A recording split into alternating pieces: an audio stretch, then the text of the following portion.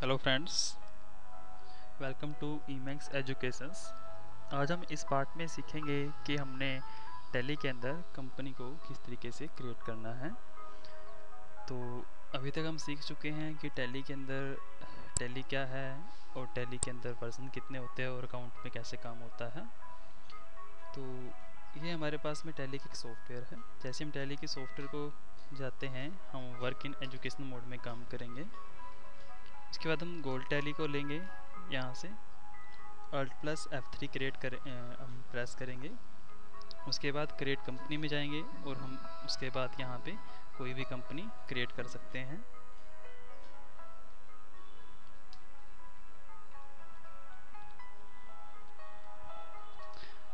Name में हमारा आता है कि किस नाम से हम कंपनी क्रिएट कर रहे हैं। डायरेक्टरी में आता है कि कहाँ पे वो कंपनी हमारी सेव हो रही है। बिलिंग एड्रेस के अंदर कंपनी का सेम नेम को वो उठा लेता है। उसके बाद हम कंपनी का एड्रेस टाइप करते हैं। जिस एड्रेस पे वो कंपनी है, मान लेते हैं।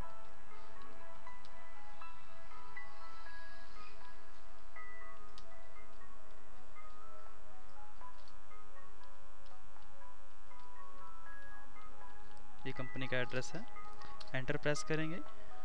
ये पूछता है कि किस कंट्रीज़ के अंदर हमारी वो कंपनी है? यहाँ से हम कंट्री को सिलेक्ट करेंगे। कंट्री ऑलरेडी सिलेक्टेड है इंडिया यहाँ से हम एच दबाएँगे तो हरियाणा आ जाएगा। किसी भी स्टेट्स को हम यहाँ से चूज़ कर सकते हैं।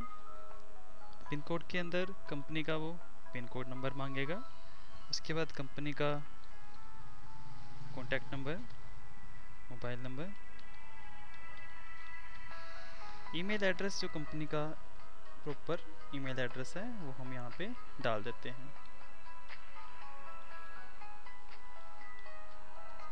उसके बाद ऑटो बैकअप का ऑप्शन आता है। अगर आप चाहते हो कि इसका बैकअप अपने आप ही ये बैकअप बनाता रहे आपकी कंपनी का तो आप इसको यस कर सकते हो। अदरवाइज़ इस ऑप्शन को हम नो रखेंगे। इंडिया के अंदर जो सिंबल चलता है, वो रुपीज़ का है, जो उसमें कंट्रीज़ के अकॉर्डिंग अपने आप ही उठा लेता है। यहाँ पे दो ऑप्शंस आते हैं account only account with inventory account only सिर्फ़ अकाउंट रिलेटेड वर्किंग होगा यहाँ पे विद इन्वेंट्री तो हम इन्वेंट्री के साथ यहाँ पे वर्किंग अपना ले सकते हैं. फाइनेंशियल ईयर फाइनेंशियल ईयर में होता है, इकतीस मार्च को फाइनेंशियल ईयर ख़त्म हो जाता है, और एक अप्रैल से फाइनेंशियल ईयर स्टार्ट होता है.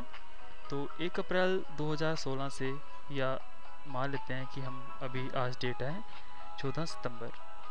तो चौदह सितंबर 2016 है आज।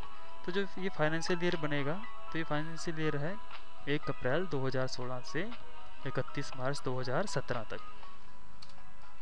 तो आज कोई कंपनी हमने क्रिएट की है, आज कोई कंपनी बनाई है तो बुक की डेट वही रहेगी, जिस डेट को हम कंपनी कोई भी क्रिएट करते हैं, जिस डेट को हम बुक्स उसकी स्टार्ट करते हैं।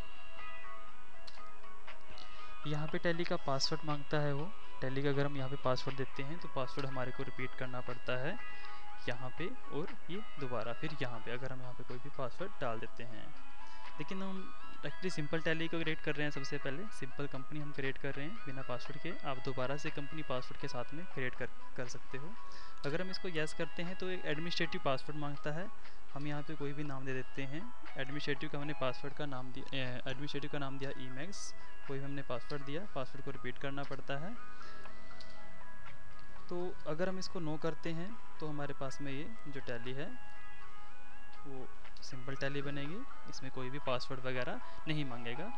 बेसिक सिंबल इंडिया के अंदर रुपीज़ चलता है, इनर बोलते हैं इंडिया के अंदर। दो का सिंबल उठा रखा है, पच्चीस पैसे, तीस पैसे को हम उठाते हैं, तीन सौ पैसे को नहीं उठाते, इसलिए दो का सिंबल ले रखा है। कोई दूसरा सिंबल इसमें फिक्स नहीं कर रखा। सिंबल्स, डेसिबल प्लेस के बाद जो सिंबल आता है, उसे हम पैसे बोलते हैं। हम यहाँ से एंटर प्रेस करके ये हमारे पास में कंपनी के क्रिएट हो जाती है कुछ टाइम वेट करने के बाद। तो आज हमने सीखा कि कंप्यूटर के अंदर टैली के अंदर हम किस तरीके से कंपनी को क्रिएट कर सकते हैं। नेक्स्ट पार्ट में हम सीखेंगे कि किस तरीके से हम कंपनी के अंदर अपने अलग अलग खाते बना सकते हैं। Thank for watching E